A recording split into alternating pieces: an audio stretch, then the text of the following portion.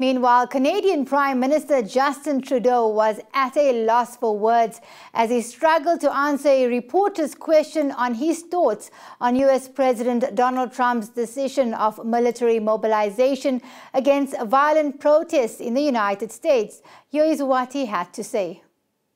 You've been reluctant to comment on uh, the words and actions of the US president, but we do have Donald Trump now calling for military action against protesters. We saw protesters tear gas yesterday to make way for a presidential photo op.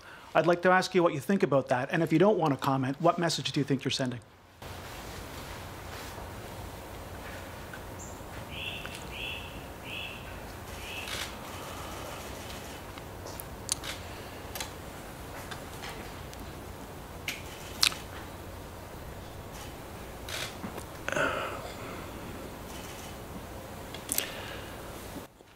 We all watch in horror and consternation what's going on in the United States.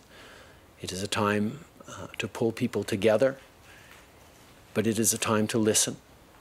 It is a time to learn what injustices continue despite progress uh, over years and decades.